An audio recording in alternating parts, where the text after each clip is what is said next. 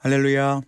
거룩한 사순절, 특별히 예수님의 고난을 묵상하는 고난 주간에 우리가 성화를 감상하면서 은혜를 나누고 있습니다. 이 말씀을 그림으로 보면서 은혜를 나눈다는 것이 참 색다른 감회를 주는 것 같습니다. 지난 월요일부터 우리가 성화를 보고 있는데요. 고난 주간에 해당하는 그림들을 보고 있죠. 그런데 오늘 오늘 살펴볼 그림에 담긴 에피소드는 예수님의 마지막 일주일 동안 있었던 사건은 아닙니다. 고난주간과 직접적인 관련은 없지만 함께 그림을 보면서 우리의 믿음과 삶을 되돌아볼 수 있는 은혜로운 시간이 되기를 바랍니다. 오늘 볼 그림은 디에고 벨라스케스가 그린 마르다와 마리아의 집에 있는 그리스도입니다. 이 그림의 배경이 되는 에피소드는 잘 아시는 마리아와 마르다의 이야기입니다. 누가복음 10장 38절로 42절에 나오는데요. 잘 아시는 바와 같이 예수님께서 마리아와 마르다 자매의 집을 방문하셨습니다. 그런데 예수님을 모셔놓고 열심히 음식을 준비하던 마르다가 예수님께 와서 불평을 하지요. 아니 이렇게 바쁘게 음식을 준비하는데 마리아는 예수님이랑 수다만 떨고 있으니 저 좀 도와주라고 얘기 좀 해달라는 것입니다. 그때 예수님께서 마리아는 좋은 것을 선택했다 이렇게 말씀하시죠. 성경을 읽다 보면 억울하게 평가받는 것 같은 사람들이 많이 등장하는데 저는 개인적으로 마르다가 저평가되는 것을 안타깝게 생각하는 사람입니다. 예수님이 집에 오셨는데 당연히 음식을 준비하고 대접하려고 힘쓰는 것이 맞지 않습니까? 그런데 우리가 이 말씀을 읽을 때 마리아는 옳고 마르다는 틀렸다고 생각하기가 쉽다는 거예요. 그런데 그렇지 않습니다. 마르다도 충분히 예수님을 사랑했고 예수님을 위해 선한 일을 감당하는 사람이었습니다. 어쩌면 지금 교회를 섬기고 많은 일에 헌신하는 우리의 모습은 마리아보다는 마르다와 더 닮아 있을지도 모릅니다. 그러나 그럼에도 불구하고 이 마르다의 삶에는 분명 아쉬운 점이 있습니다. 벨라스케스 역시도 그림에 그런 점을 담고 싶었는지도 모릅니다. 함께 살펴보면서 은혜를 나누기를 원합니다. 일단 이 그림을 보면 일하고 있는 마르다와 예수님 앞에 앉아 있는 마리아의 모습이 양쪽에 구분되어 그려져 있습니다. 그런데 단순하게 공간이 분리된 것이 아니라 마리아의 모습은 거울 속에 비치는 것으로 묘사되어 있다는 것입니다. 여러분, 그림이라고 하는 것은 시간에 따라 흐르는 이야기를 정지된 한 장면에 담아야 되기 때문에 그림의 공간을 나누어서 서로 다른 이야기를 한 폭에 같이 담는 방법들을 종종 사용합니다. 특히 네덜란드와 북유럽의 후기 르네상스와 바로크 시대에는 이중 공간을 이용한 그림을 많이 그렸는데 벨라스케스의 이 그림 역시도 거울에 비친 모습을 통해서 마리아와 마르다를 동시에 보여줍니다. 거울에 비친 모습으로 전체 공간의 장면을 보여주는 이런 기법은 벨라스케스의 가장 유명한 작품인 시녀들에서도 볼 수 있습니다. 디에고 벨라스케스는 17세기에 활동한 스페인의 유명한 화가입니다. 궁정화가로 주로 활동했던 그는 왕의 초상화나 왕실의 모습들을 그림에 담았는데요. 지금 보시는 이 그림은 그가 섬기고 있던 당시 에스파냐의 국왕 펠리페 4세의 가족들을 그린 것입니다. 가운데 작은 소녀가 펠리페 4세의 딸, 즉 공주인 것 같고 그 주변에 공주를 돌보는 시녀들이 시중을 들고 있습니다. 그런데 저기 뒤에 왕과 왕비의 모습이 보이십니까? 바로 거울로 보이는 거죠.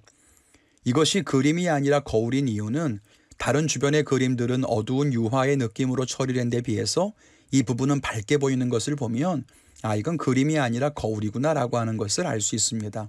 즉, 왕과 왕비는 지금 공주의 얼굴을 바라보고 있는 쪽, 그러니까 우리들이 지금 있는 자리에서 공주를 보고 있는 것이고 그 모습이 저 뒤편 거울에 반사되어 나타나고 있는 것입니다. 그렇게 공주와 또 왕과 왕비의 모습을 한 공간에 있는 것처럼 그린다는 거예요.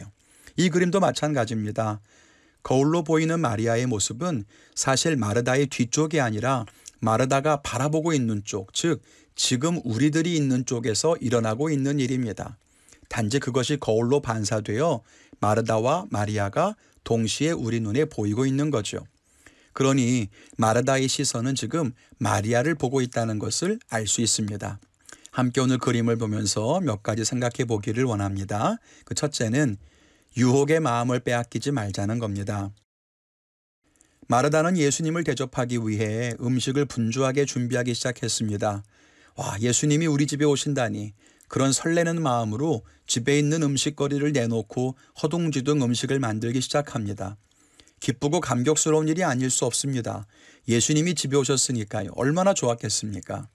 그런데 갑자기 음식을 준비하다 보니 서두르게 되고 실수도 하게 되고 정신이 하나도 없습니다. 누가 좀 도와줬으면 좋겠다 생각하고 있을 그때 거실에서 까르르 웃는 소리가 들립니다. 그쪽을 바라보니 예수님과 자기 동생 마리아가 이야기를 나누고 있는 거죠. 마리아는 예수님 말씀을 들으면서 웃고 있고 예수님은 마리아를 바라보고 말씀을 하고 계십니다. 갑자기 마르다의 마음이 어두워집니다. 누구는 예수님과 이야기하고 싶지 않은가? 나도 예수님 좋아하고 예수님 말씀 듣는 걸 참 좋아하는데 그렇지만 지금은 예수님을 위해 식사를 준비해야지 저렇게 수다만 떨고 있으면 어쩌자는 거야. 수다만 떨다가 예수님 배고프시면 어떻게 할 거야? 이런 생각이 듭니다.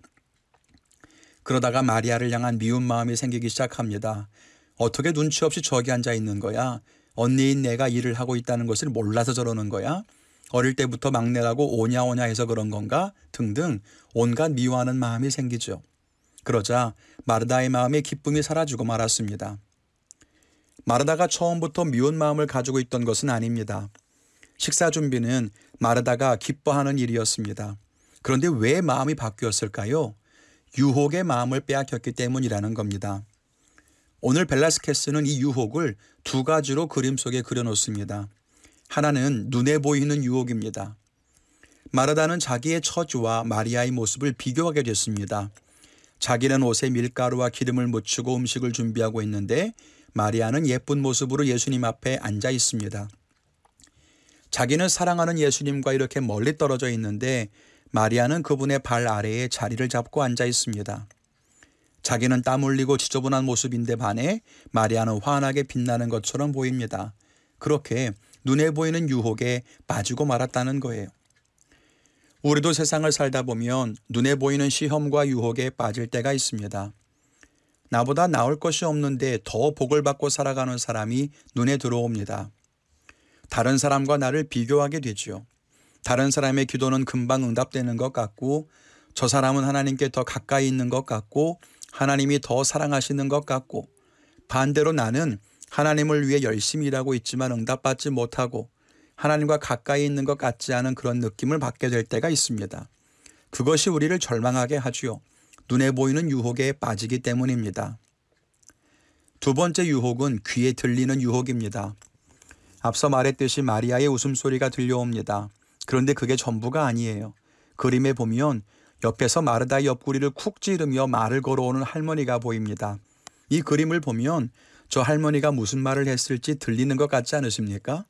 이봐 마르다 저기 마리아 좀 봐. 어쩜 저렇게 눈치 없이 수다만 떨고 있는 거야. 가서 좀 야단을 쳐. 언니가 여기서 일하는데 동생이 저러면 쓰나. 예수님도 분명히 이해하실 거야. 가서 마리아를 야단치고 데리고 와서 같이 일을 해야지. 그렇게 말하는 것 같습니다. 그런데 마르다가 움직이지 않으면 할머니는 더 가슴 아픈 이야기를 할 겁니다. 예수님이 마리아만 더 예뻐하시는 거 아니야? 예수님이 마리아를 보며 웃으시는 것 봐. 난 예수님이 저렇게 웃으시는 것을 본 적이 없는 것 같은데 예수님이 마리아만 위해서 축복기도 하시면 어떻게 할 거야? 이렇게 말입니다. 그림에서는 할머니의 모습으로 그려졌지만 벨라스케스가 그린 저 노파는 우리의 귀에 속삭이는 사탄의 목소리입니다. 우리에게도 이런 유혹의 소리가 들려옵니다. 오해하게 만들고 우리의 감정을 상하게 하는 그런 소리가 들려오죠. 거기에 마음을 빼앗겨서는 안 된다는 것입니다. 신앙생활에 승리하기 위해서 우리는 눈에 보이는 유혹과 귀에 들리는 유혹을 이겨내야 합니다. 그렇지 않으면 우리는 가장 귀한 은혜의 자리에서도 넘어질 수 있고 하나님을 위해서 일하고 충성하다가도 실패할 수 있기 때문입니다. 우리 성도님들이 이 믿음 안에 승리할 수 있기를 바랍니다. 두 번째로 생각할 것은 우리의 마음가짐이 곧 믿음이라는 것입니다. 예수님은 마르다에게 말씀하셨습니다. 마리아는 좋은 편을 택하였다. 이 말씀이 무슨 뜻일까요?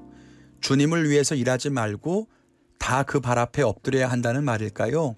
그건 아닐 겁니다. 그렇게 해석하는 사람들은 교회를 멀리하고 자기 혼자서 말씀 보고 하나님의 뜻대로 살아가는 것이 건강한 신앙이라고 착각하며 살아갑니다.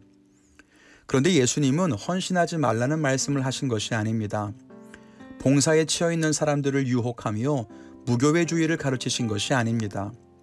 마리아가 택한 좋은 편은 예수님에게서 얻는 기쁨을 의미합니다. 이 그림을 보십시오. 거울에 비친 마리아와 주방에 있는 마르다의 모습이 확연하게 다릅니다. 뭐가요? 표정이 다릅니다. 마르다는 지금 울먹이는 듯한 표정을 하고 있습니다. 서글픔, 서러움이 느껴집니다. 뭐가 문제일까요? 예수님을 위해서 일하고 있는 중에 기쁨을 잃어버렸기 때문입니다. 예수님이 마르다를 안타깝게 생각하신 것은 마르다가 예수님 앞에 오지 않아서가 아닙니다. 마르다가 식사 준비에 몰입해서도 아닙니다. 마르다가 기쁨을 잃었기 때문이라는 것입니다. 우리는 어떻습니까? 예수님을 위해서 참 많은 일을 하고 있지요. 교회 안에서도 교사로, 성가대로, 속장으로, 기도자로, 전도자로 섬기고 있습니다. 한 사람이 여러 개의 직분을 감당하는 사람도 많습니다. 또 교회 밖에서는요, 가정에서, 직장에서 우리는 또 얼마나 많은 일들을 하나님의 영광을 위해서 해내고 있습니까? 그런데 예수님은 우리가 어떤 일을 하고 있느냐, 아니면 얼마나 많은 일을 하고 있느냐로 우리의 믿음을 평가하지 않으십니다. 많은 일을 하는 것이 믿음이 좋은 것이 아니고 어려운 일을 해내는 것이 믿음이 좋은 것이 아닙니다. 예수님이 보시는 것은 네가 좋은 편을 선택했느냐는 것입니다. 우리의 마음가짐이 예수님으로 인해서 충만한 것들을 누리고 있느냐는 거죠. 예수님만이 채워줄 수 있는 천국의 기쁨, 소망, 평화가 정말 우리 안에 가득합니까? 주님을 위해 헌신하고 일하고 있을 때에도 우리는 기쁩니까? 어려움 속에서도 우리는 평안합니까? 그것이 진짜 믿음이라는 것입니다. 진짜 믿음은 겉으로 행하는 행위에 있지 않습니다. 진짜 믿음은 우리의 삶, 우리 내면에 있는 거죠. 만일 마르다가 음식을 준비하며 기쁨으로 충만했다면 그래서 예수님 앞에서 수다 떠는 마리아를 미워하지 않고 음식을 준비해 와서 마리아와 예수님 앞에 놓으면서 마리아가 참 행복해 보이는구나. 정말 진심으로 웃으며 축복할 수 있었다면 예수님은 마르다를 책망하지 않으셨을 겁니다. 마르다의 헌신과 그 마음도 칭찬하셨을 거라는 거예요. 여러분, 우리가 마음속에 있는 하나님의 은총을 잃어버리지 않는 진정한 믿음을 가지고 승리하는 삶이 되기를 바랍니다.